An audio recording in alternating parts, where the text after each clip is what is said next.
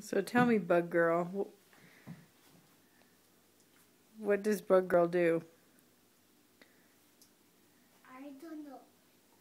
Bug Girl mostly helps little bugs and stuff like that when bugs and turtles like that um fall over.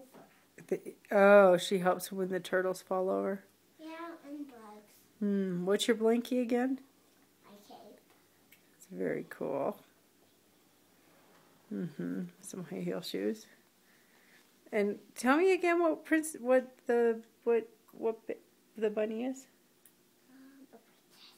And what's the bear? The bear is Canadian. A Canadian. And she Scooby-Doo's a rescuer. A rescuer.